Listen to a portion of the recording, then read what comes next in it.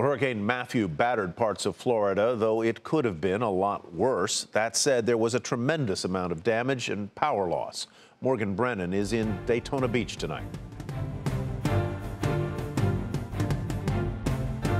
This is Atlantic Avenue in Daytona Beach, and as the worst of Hurricane Matthew has pushed through here and is heading north along the coast, we're getting an early look at some of the damage here in the area. Now we've got cars beginning to move through, mainly first responders, a lot of fire trucks, police cars and utility trucks. Uh, the street signs, or street lights, I should say, are still out. The next block, you even have a business where the entire roof was torn off. Throughout the area, we have debris everywhere, including, take a look at this big piece uh, right here behind me. Where did this come from? Across the street. The Hilton Hotel.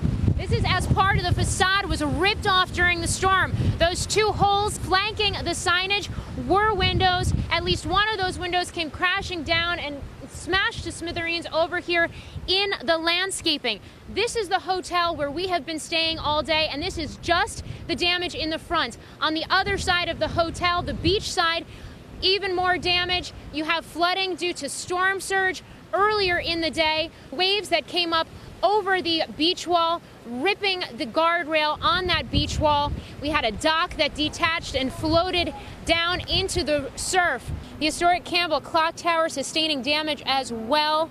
Something of a landmark in this area with some of the clock faces cracked and pushed in. And all of this is just the outside of this particular property. Inside damage as well. Water coming through the light fixtures and in the lobby, a lot of soaked towels. Not to mention, even on the upper floors, water in some of the carpet.